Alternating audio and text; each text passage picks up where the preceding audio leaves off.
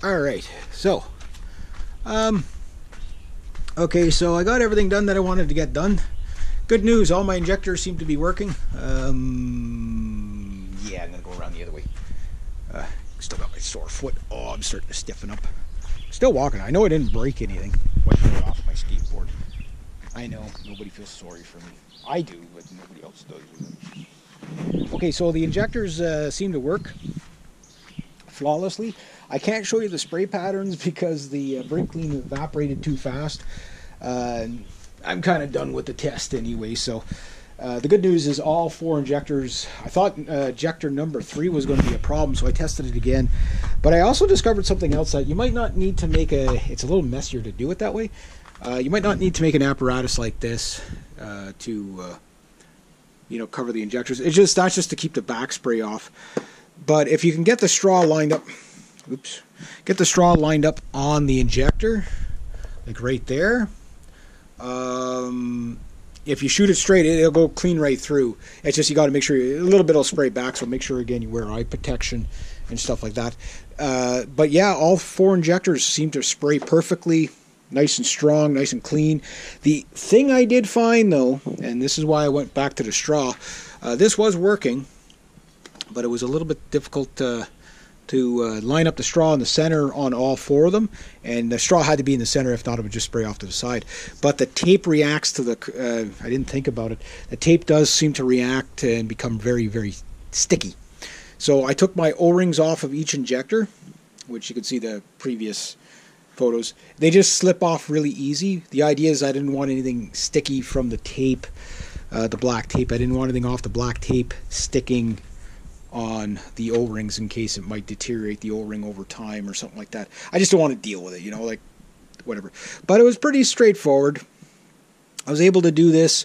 Basically, this lead here off the multimeter, I taped it to the ground, and then the other one, I just set it in there and held it fine, and then I just had to touch the the back end to on the positive post just as I'd hit the uh, the uh, top of the doodadder button there, and yeah, and then she sprayed. And you can see the sheet's completely, it's been sprayed four times. And uh, it was like two nice big powerful sprays coming out. Uh, nice and smooth, like a, you know, like a spray bottle, just psh, like that. So it worked really good. So all injectors are clean. So the good news is that eliminates uh, injector problems. I've eliminated, I think, the ICV uh, IACV valve and whatever. But I'm still going to clear out my airbox and stuff like that. So I'm not going to be on the road today. Plus my my shifting foot. Oh, upshift is going to kill me the the next day I take this out. Um, I might have to keep my keep off my foot for the next day or two anyway. So after that wipeout, go figure. Uh, but anyway, yeah, very easy setup. So motorcycle battery, which uh, now's a good time to talk about it your motorcycle battery, even though it's the middle of, the, of uh, we're almost into July, we're at the end of June, and I've been riding around a bit. Uh, it doesn't hurt to pull out the motorcycle battery battery mid-season, even if it's a new battery. Just take it out, put it on the trickle charger for a night or, whatever, just to give it that one up, and then put, throw it back into the battery. So I used the battery from the bike. Everything went well.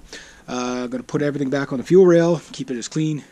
Maybe try to install as much of it as I can. I don't think I'm just going to have time today, so. Um, you know, it's one of those things. If you had nothing else to do in the day, you'd have it done probably within two days. But uh, so this is day four, so I'm going to go a little bit over time on my.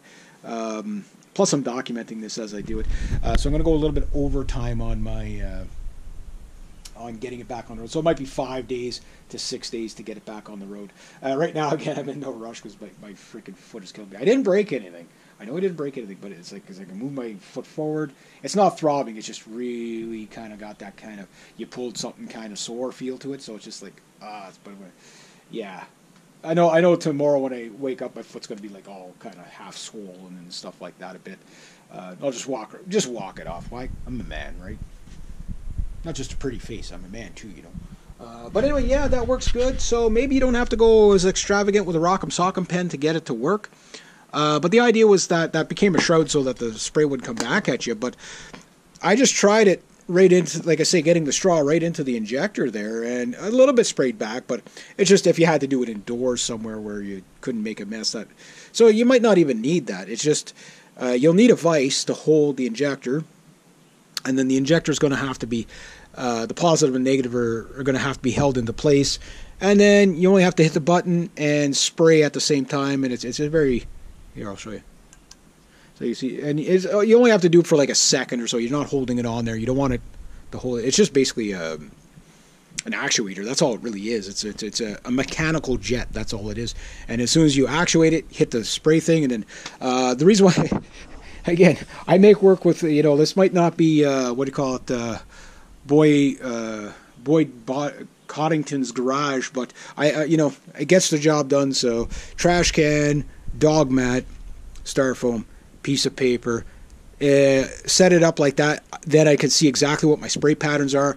Uh, I thought injector number three wasn't working, but I just I think I just don't ha- I didn't have the straw lined up, so I was worried about or sorry number two and number four. This is injector number two. Sorry, this is why I pull things out and I put them back in. Uh, I test it, I put it back in, but I left number two out, and I put the other f- three back in. So I thought number uh, injector two and four were having problems, but it just turns out I didn't have it the straw lined up in there well enough. And in fact, that was a lot faster. Would have probably saved half the time. So if you don't mind making a little bit of mess, uh, obviously, you know, I'm just using brake clean here. Uh, the good news about the brake clean is it, it um, evaporates, but be careful because I, I didn't think about it, but the glue on the tape, it seems to react to it uh, a little bit, and it was making the outside of the jet sticky. And I don't want that in the jet because I, I think once that go in there, that'd be it. And these things, these little pieces of, of junk are worth 180 bucks a piece for my bike. Uh, the more rare your vehicle, I'm sure the more expensive they would get. So, yeah, maybe just make a little bit of mess, extra mess, and just wear a better mask and stuff like that. But easy enough to do.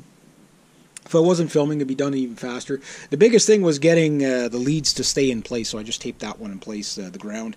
And you don't want to tape them solid. It was that was the hardest thing to do was just keep the leads in place long enough for me to tap the the uh, the post here and hit the button. That's it. It's like really literally. It's a 30 second job once you get it. Uh, you know, not even 30 seconds once you get it set up. It takes you two days to do it, but after that, now you know. Uh, so anyway, I'm going to take some pictures of this uh, for my blog. You could check it out, uh, uh all the pictures of everything I'm doing on the blogger. So if you have a TT600 like I do, you might want to follow that blogger and then obviously uh, this channel. And then, of course, uh, if you have any other type of motorcycle or even a car, this is just a good little setup to very nice and simple. works really, really well and uh, it's something you can do maybe once a season uh, if you need to. If you're in a really gruddy area, uh, one of the problems I may have uh, in the long run is if I don't uh, put in a fuel filter new, on my uh, fuel pump, I might end up having to do this a little more often. So, you know, this is one nice thing about when you get a vehicle and you can just tear it right down, all the maintenance stuff, do all the maintenance stuff, then you know. So it's nice to know that my injector is working fine uh, so that's good. So really, it eliminates the the down to the, the, the three possible things for my rough running. Could now come down to the timing. Uh, the bad plugs is more likely what it's going to be, and then the other, hopefully not, is the coils, which I'll probably test the coils. Seeing I got the bike apart anyway, I might as well do that. So anyway, I'm gonna leave it at that. There we go. Have yourselves a great day.